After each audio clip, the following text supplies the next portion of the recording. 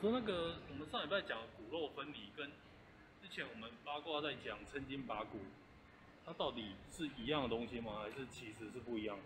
不一样，应该讲，应该讲这个练法是第一步。对。你先要分得开，你分得开，你才能找到筋，你才能做抻抻筋拔骨。你做抻筋拔骨，你如果肌肉参与的话，你不可能做到抻抻抻筋拔骨。老师，你讲的分开跟肌肉放松，就是一样啊。你要肉弱，你就要放放放松啊。嗯。你肉弱了，放松，肉弱了，骨骨才会出出出来嘛。嗯。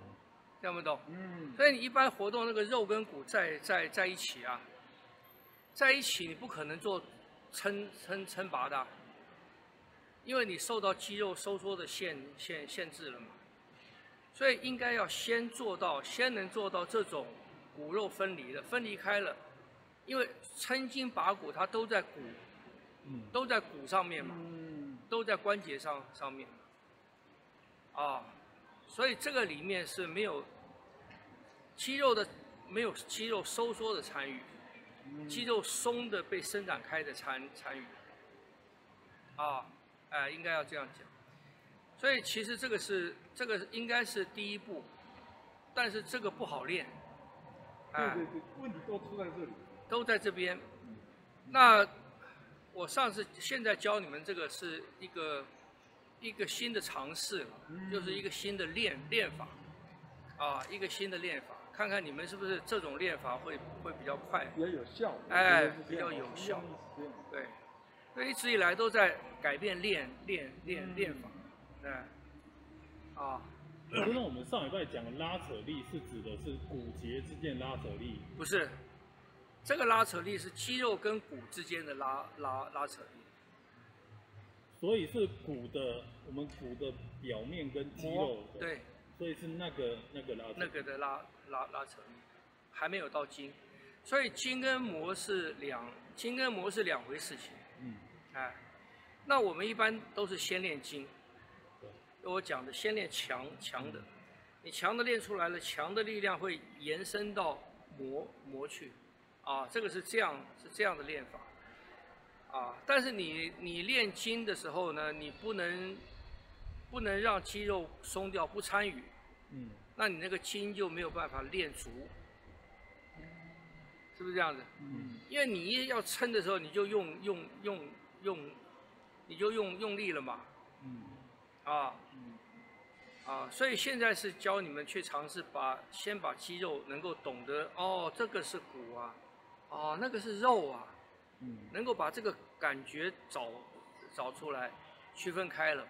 所以你那个肉落下去，落落落的足够了以后，你会感觉到它跟骨头之间有一种牵牵连，哎，啊，哎，所以我这边讲的拉扯是是是是指这个，啊，它不是很重的拉扯，不是像我们在练这种东西的那个拉拉扯，很轻的，哎，因为这种利用地心引力来做来做的这些练习啊。它都很轻，啊，是要慢才感觉。要慢，要慢，对，啊，那个公公正问啊，他们问问到，然后上礼拜上次教你们的那个肉落嘛，是不是？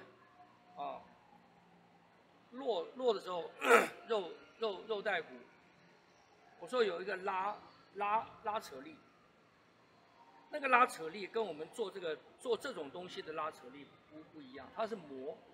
它那个拉扯力是肌肉跟骨头之间的，啊，肌肉跟骨头之间有膜的连连连连连接，所以你肌肉松掉以后，肌肉的重量下下来，你会会感觉到有一个有一个拉拉拉扯力，所以这个不是在做在做抻抻筋拔骨，这种骨肉分离不是在做抻筋拔骨，它是在应该是在抻筋拔骨之前，你能够分得出。什么是骨，什么是肉，你才能够再做抻筋拔骨，因为抻筋拔骨的动作都在筋骨上面，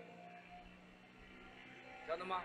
不能让肌肉收缩的肌肉参参参与，所以你们现在练抻筋拔骨很久啊，很久抓抓不到重点，就是什么？就是你一在做这种抻筋拔骨的时候，你的肌肉就收收收收缩了。所以我现在给你们的练法就是让你去，你要去体会到肌肉跟骨它的分离，你要去感觉到它们是两两家东东西。啊，我用这个的时候，用这个用肉的时候，我不用骨；用骨的时候，用骨的时候不用肉。啊，啊，所以这个是这个是应该是第一步了啊，它不是很深奥的东东东东西的。啊，所以骨肉分离不是很深奥的东西，只是我们要要很专，要很专心。你要不要换？要不要换？